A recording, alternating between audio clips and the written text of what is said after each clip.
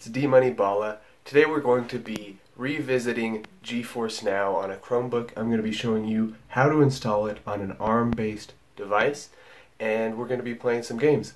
We're going to see if anything has changed in a week since it's been released. This is the Chromebook I will be using in this video. It's a Samsung Chromebook version 1, Chromebook Plus. It's got a great screen, 2400 by 1600 resolution. It's an ARM-based processor, and I will be showing you how to install GeForce Now and be and showing you some gameplay on it.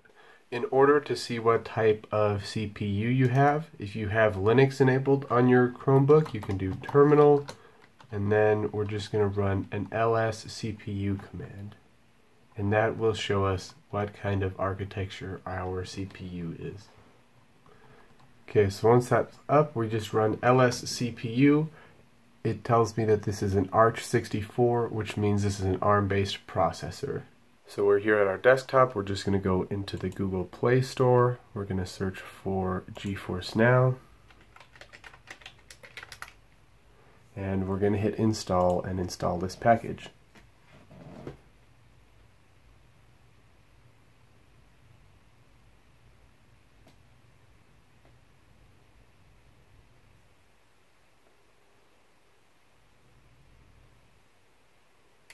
And then it's installed. We can hit that open button and now we are okay to play. So here we are. We're going to try playing Destiny 2 on it. And I've tested this before.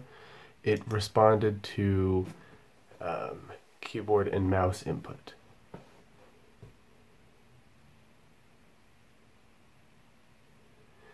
So I've got an external keyboard and a mouse plugged in that we will be playing with.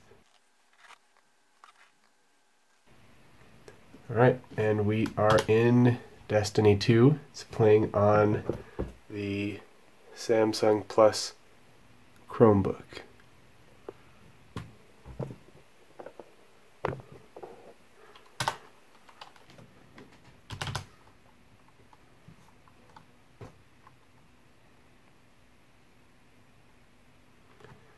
And here we are in game in with the Samsung Chromebook Plus.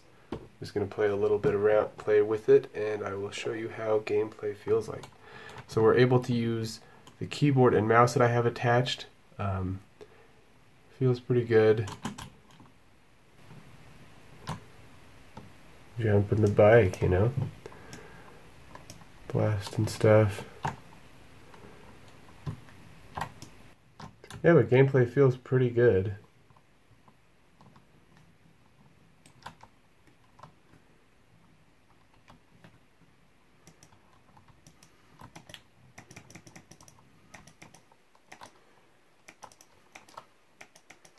I mean, it is a little bit laggier than I'm used to, but uh, still quite able to, still very playable.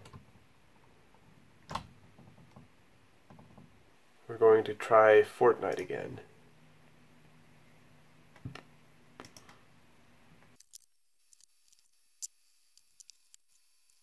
And this is the Chromebook Plus. I have a keyboard here. It is responding to keyboard presses now, so that's really good. You don't have to have a game controller to play on anymore. So it looks like everything is working well. You're going to be able to play some Fortnite. Gameplay was good enough that I was able to get a kill, even though I'm usually not that good at Fortnite.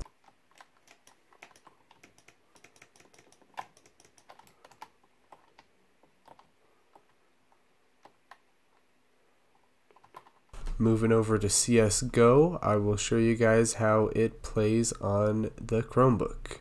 So now we're playing CSGO.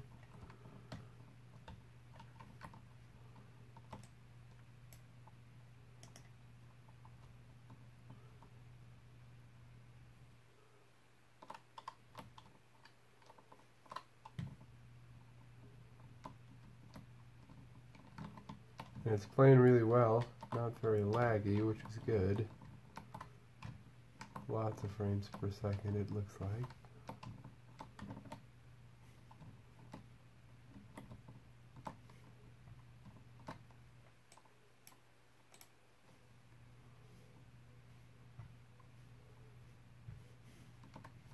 As we've seen, it's easy to install if you've got an ARM-based Chromebook and it allows you to play games with keyboard support and mouse support, which is amazing. Now we can play all the games we want on the go.